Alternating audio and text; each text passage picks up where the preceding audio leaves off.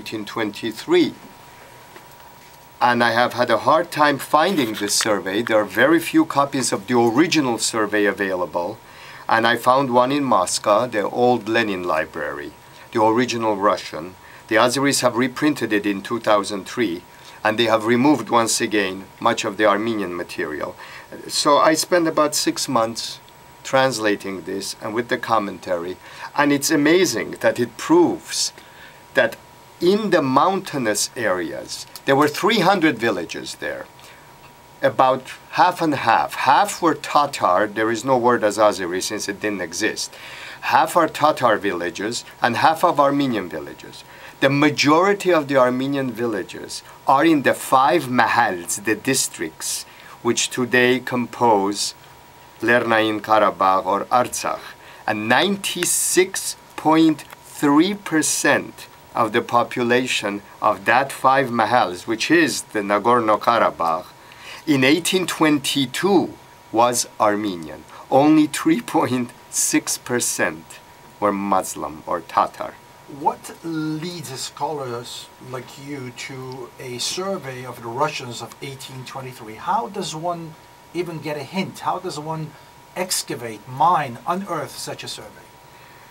Well, it was very difficult. We knew a survey existed. There were a few surveys done by the Russians. Uh, one was in the district of Shaki, one was in the district of Shirvan, one was in Karabakh, one was in Yerevan, one was in Nakhchivan.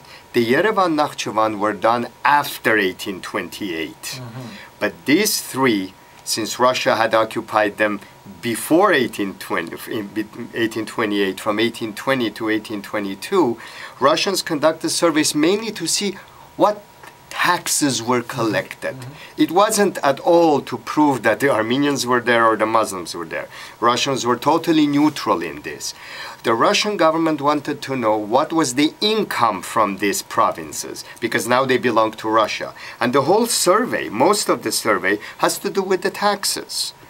All the villages, how much they paid, etc., etc. But what they have done is, they indicate which village was Armenian, mm -hmm. which village was Tatar, and which areas were nomadic pastures. So out of 650 names, 160 are Armenian villages, 140 are Tatar villages, and 350 are nomadic pastures. You know, you mentioned a Russian scholar, Ilya Pavlovich Petrushka. Uh, who was he and what was the significance of his works? He was a counselor, a government counselor, a government official, mm -hmm.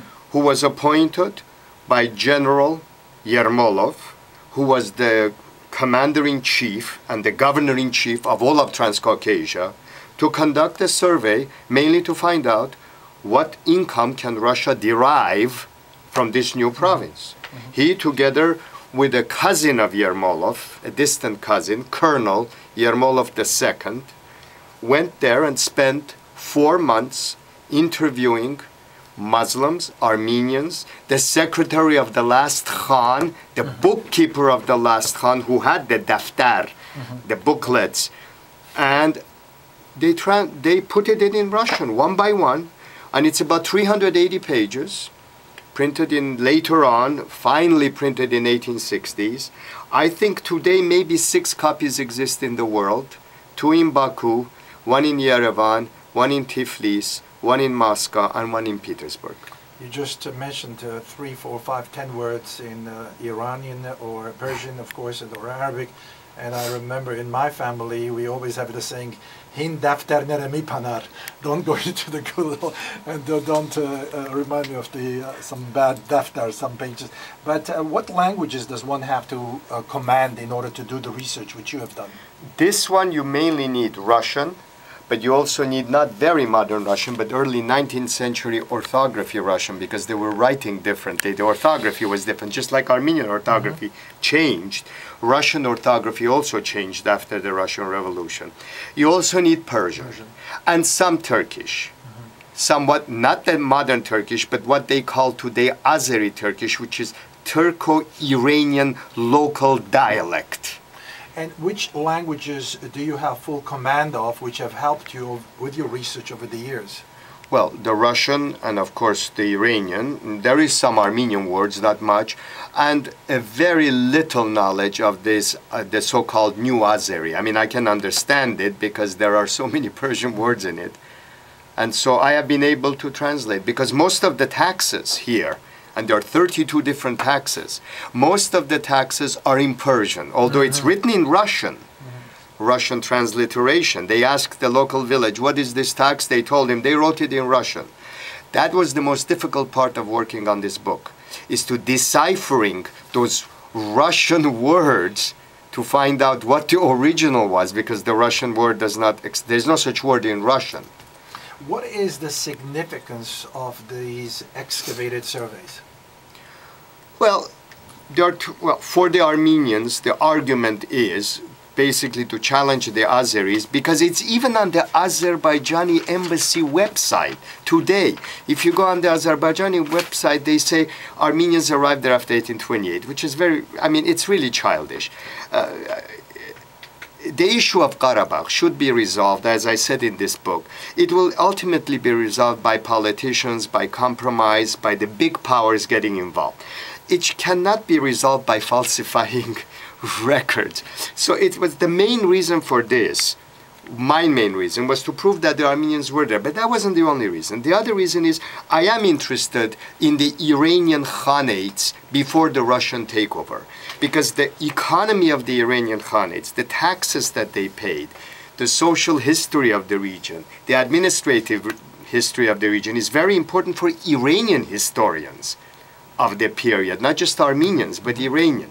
Because the main problem today we have, and I just was I just got another book, Azerbaijani scholars, even if you put Karabakh aside, they're now claiming that even Yerevan was part of Azerbaijan. I just got a new book where they're using my book, my first book, The Khanate of Yerevan. They have taken three of my maps and they have quoted me correctly. Mm -hmm that according to Dr. Bournoutian, Armenians were a minority in Yerevan in 1828. It's true that Armenians came from Iran and from Turkey after 1828. Fine. But what they completely ignore is the fact that these Armenians were the Armenians who were exiled by Shah Abbas 200 years before. When Shah Abbas took 250,000 Armenians to Iran right across the border. So 200 years later, the same Armenians, all they had to do is to cross the border and come back to where they had been exiled from. So that they don't talk about at all. And they say Armenians came there after 1828, but not Karabakh. Karabakh Armenians were always there. It had nothing to do with this part. And obviously, you're holding the book, uh, and I have the book, uh, and uh, it's uh, really different when you read the book, you read the pages, and, and there's a lot of admiration, uh, uh, thankfulness for your research. Uh, my question, is being about thankfulness, what kind of support does uh, as an Armenian scholar get from the community? What are the, what is an important support, and what organizations have helped you in the uh, in the, your mission? Well, that's a very prevalent question. Uh, my translation was done free. My work was done free. Unlike the Azeris, whose government is really helping them, and recently they published a three-volume unbelievable work in London selling for $275 in a lead, in a slipcase called The Armenian Question in the Caucasus. That's the name of the book. That was serious. Name of the book. The Armenian Question in, in the Caucasus, and it was printed by the Azerbaijani Society, uh, Azerbaijani European Society, three beautifully produced hardcover volumes in a slipcase and with all the Russian documents, of course, they selected documents, mm, yeah, of course. but with the, with the introduction in English. Mm. All the introduction is in English. Mm-hmm. The documents are only Russian, so since nobody, most people are going to read the three volumes, they're going to read the introduction, and the introduction puts the Azeri pressure, and it's sponsored by the government, $275. They get an for all their books, even the book that I just mentioned that I got from University of Michigan about about the Khanate of Yerevan, which they are claiming that uh, Yerevan was Azerbaijan, everything was Azerbaijan. Armenians at all have no reason to be anywhere in the Caucasus mm-hmm. at all. They came later. And very beautifully produced book. So they got, with the introduction by Aliyev, the, the new Aliyev, mm-hmm. president of Azerbaijan, and dedicated to his, the memory of his father. Mm-hmm. Beautifully produced book.